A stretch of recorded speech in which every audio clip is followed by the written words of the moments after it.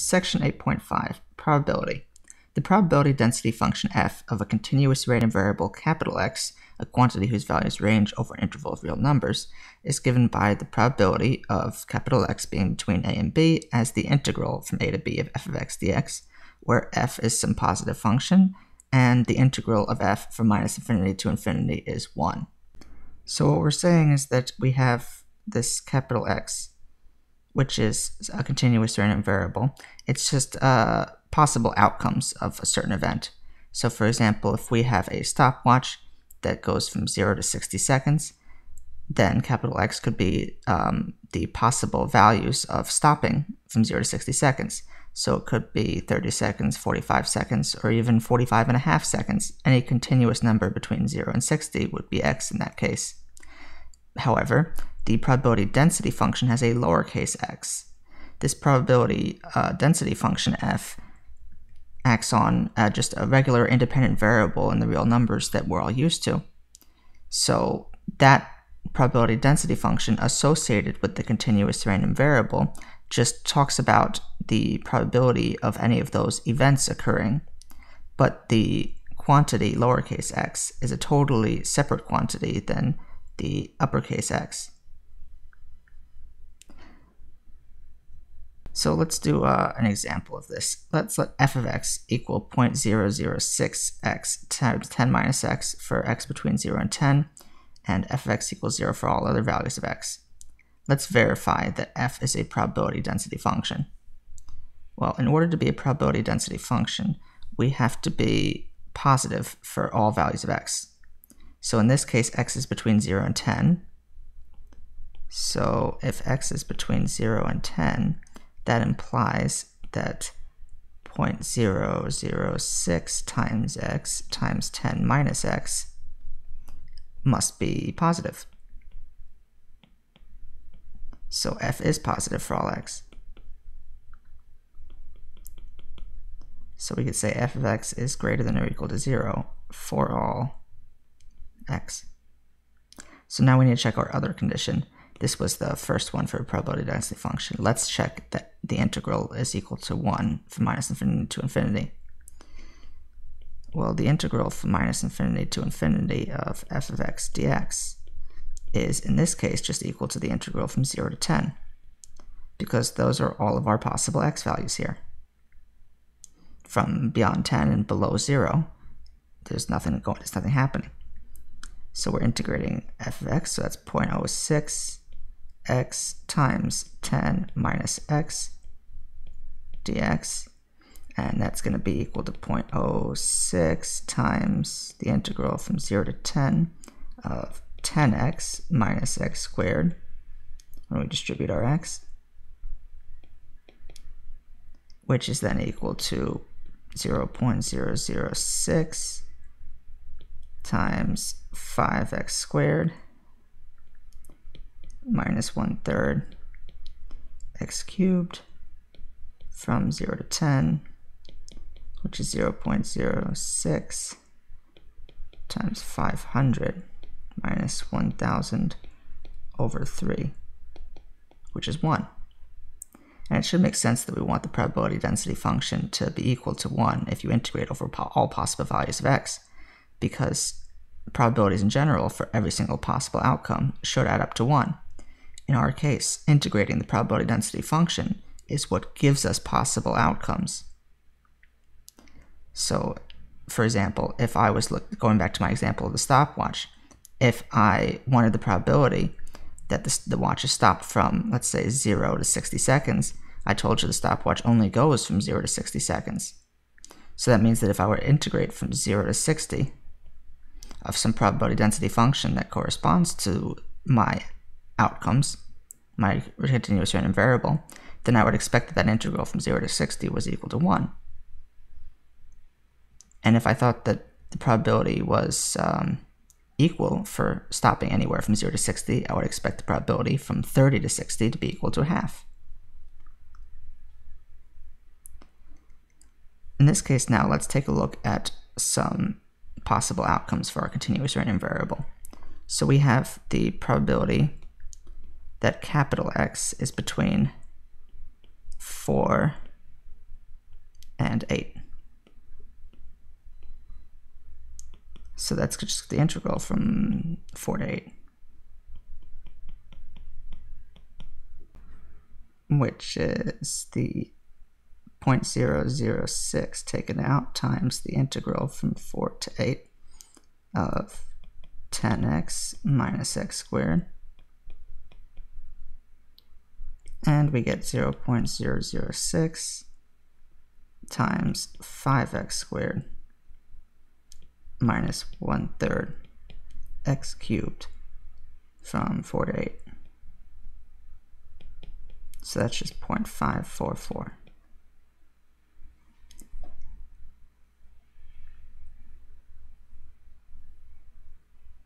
Phenomena such as waiting times and equipment failure times are commonly modeled by exponentially decreasing probability density functions.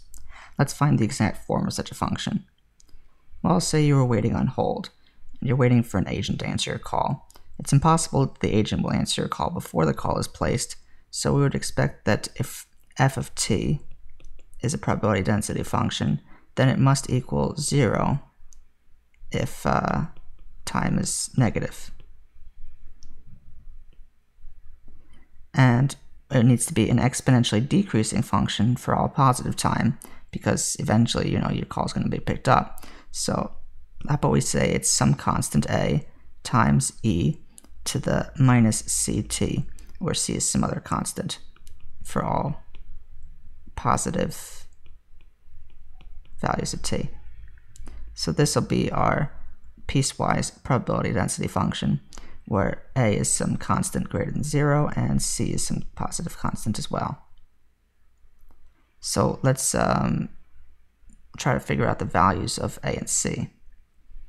We know that our integral of our probability density function must add up to 1. So 1 must equal the integral from minus infinity to infinity of f of t dt. So that means that if I split up my integral from minus infinity to 0 to f of t dt and add that to the integral from 0 to infinity of f of t dt, then I'll end up with an integral that's entirely 0 because this is for negative time where f is 0. So I just end up with the second integral from 0 to infinity. So that saves me a little work. So I know that that equals 1. So now I know that from positive values of t, this is the integral of a e to the minus c dt. And that's equal to, by definition of improper integrals, the limit as some other variable, let's say x, because we're already using t, goes to infinity, where I replace infinity with that variable. And I keep integrating a e to the minus ct dt. So I take my antiderivative, I get that we're taking the limit of minus a over c. Because I pull out constant a, and then integrating e to the minus c dt means I have to divide by a minus 1 over c. You could do a little mental u substitution over there. Otherwise, convince yourself when you take the derivative here, the minus c will hop out in front and cancel with the minus 1 over c, and just leave you with e to the minus c dt e to the minus ct, and then you have the a. So let's evaluate that from 0 to x, and we get that this is the limit of a over c times 1 minus e to the minus cx. I use the minus to switch the order of substitution over here. So now there's no more minus over there. So then this just equals a over c, because when you take this limit, you get a really, really big number in the denominator because of this negative. So this thing goes to zero. So we just have a over c times one. But follow these chain of equal signs all the way back. We started with one. So one must equal a over c. So this implies a over c equals one. So that means that A has to equal C.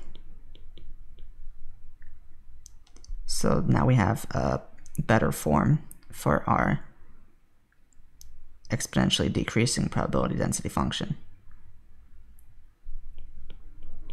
So f of t is equal to 0 if t is negative and it's equal to ce to the minus ct if f is positive, if t is uh, positive.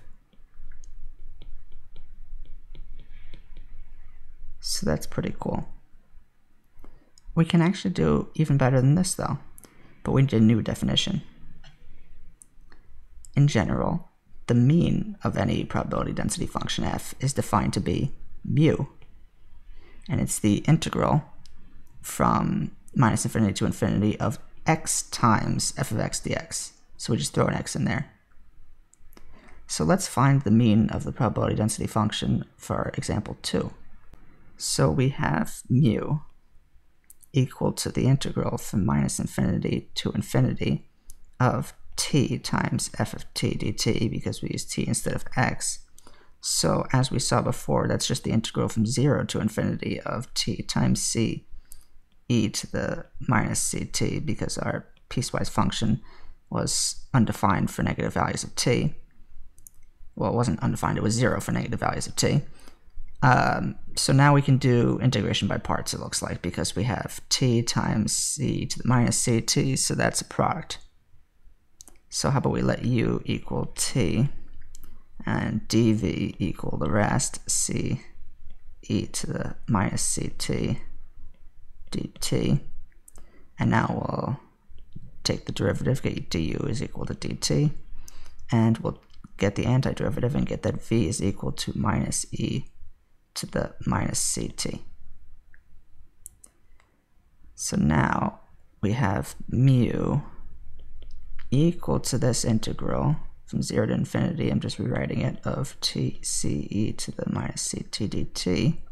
So that's equal to the limit as x goes to infinity of the integral from 0 to x of tc to the tce to the minus ct dt. Let's see if I can make that e a little better.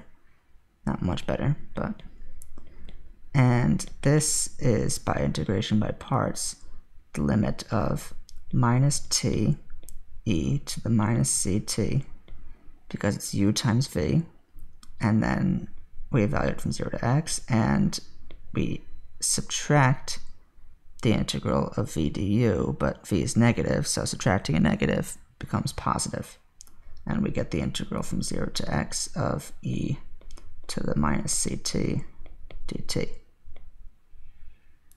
So this is equal to the limit of minus x e to the minus cx because we plug in x and we add 1 over c minus e to the minus cx over c. Notice there's no contribution to zero, for 0 for this guy. So then this is just 1 over c. So that's pretty cool. That means that the mean mu is equal to 1 over c. So I could rewrite that saying that c is equal to 1 over mu, or mu to the minus 1 power. So now, instead of writing c times e to the minus c t, I can replace c with the actual average or mean of the function. So we could say that f of t is equal to 0 if t is negative, but it's equal to mu to the minus 1 times e to the minus t over mu if t is positive.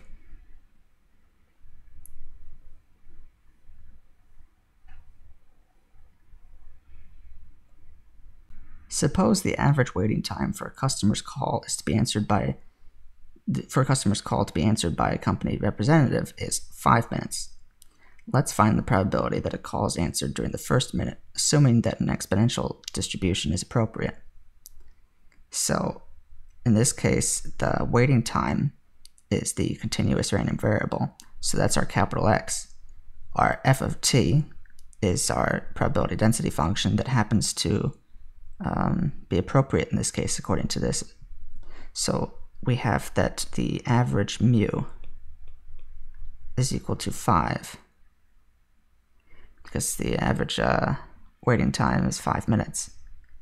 We also have that f of t is our exponential function, so that's 0 if t is negative, and it's uh, 1 over mu, so it's 1 over 5, or mu to the minus 1, so that's 0.2 times e to the minus t over 5 if t is greater than or equal to 0. So let's get the probability that capital T in this case is uh, between 0 and 1. So the probability that the time to get the call answered is answered during the first minute, less than or equal to 1 minute. Well, that's just the integral from 0 to 1 of our probability density function.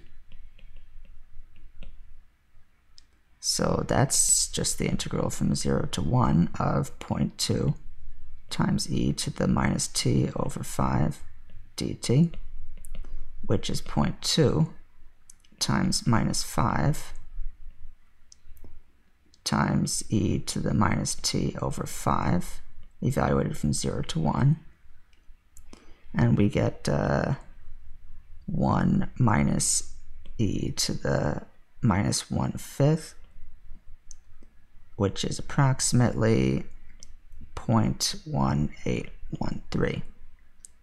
So our probability that our call will be answered within the first minute is about 18%.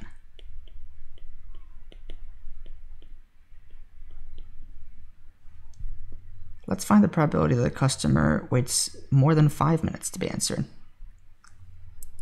So that's probability that t is just bigger than 5 for capital T, our continuous random variable. So that's the integral from 5 to infinity of f of t dt,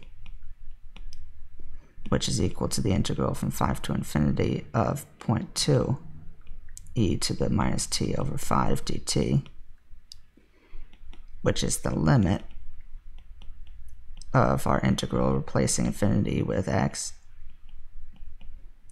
So 0.2 e to the minus t over 5.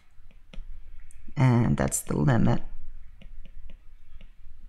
of e to the minus 1 minus e to the minus x over 5. Which is just 1 over e because there's no x in there.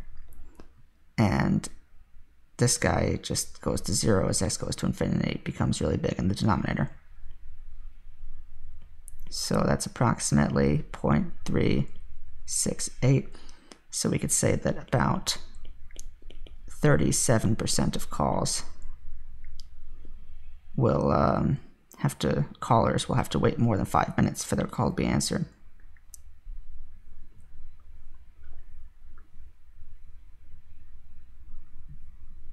When random phenomena are modeled by a normal distribution, this means that the probability density function of the random variable x is a member of the family of functions f of x equals this mess.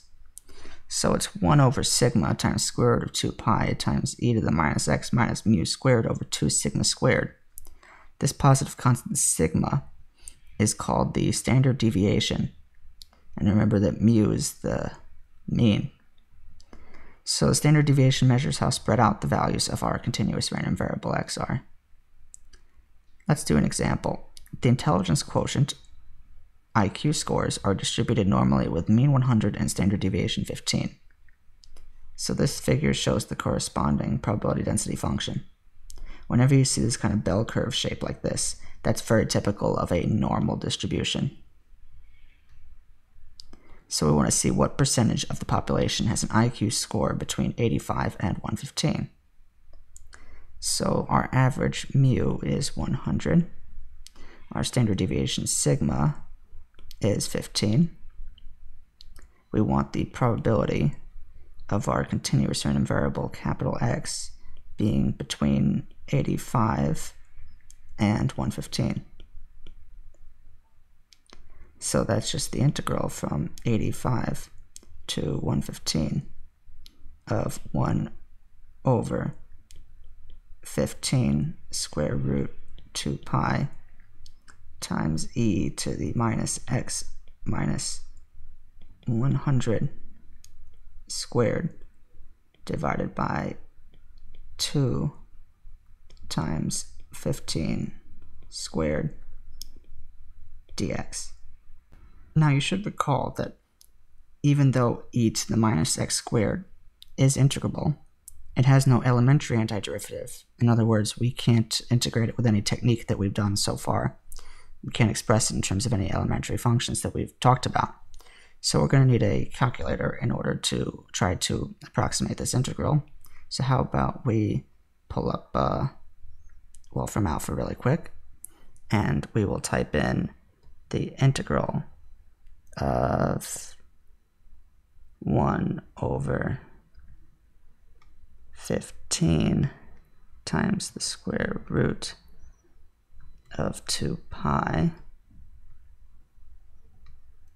And we'll multiply that by e to the minus x minus 100 squared divided by 2 times 15 squared. So 15 squared is 225 times 2 is 450. So I'll just put in 450 to make this a little bit easier. And we want to make sure that we go from x equals 85 to 115.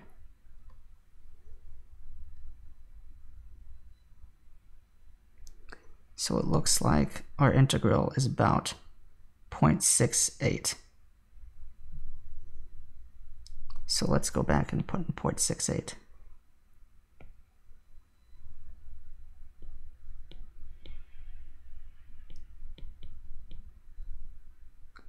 So that means that about 68% of the population has an IQ score between 85 and 115, which makes sense even looking from the graph. You look at the uh, area under the curve from there to there, and it looks like it's about 68% of the area. Let's see what percentage of the population has an IQ above 140. Well, that's the probability that capital X is greater than 140. So that's equal to the integral from 140 and on forever of 1 over 15 times the square root of 2 pi times e to the minus x minus 100 squared divided by 450 dx. So that's approximately equal to the integral from 140 to some cutoff because people stop having IQs above a certain amount at some point. So how about we say about 200 to be safe? Because very few people have IQs above 200. This shouldn't affect our value pretty much, uh, very much at all. And that way we can actually plug this into our calculator easily. So we get uh, still e to the minus x minus 100 squared over 450 dx so we go back to our calculator. Let's change our limits from x equals 85 to x equals 140. And we'll change 115 to 200.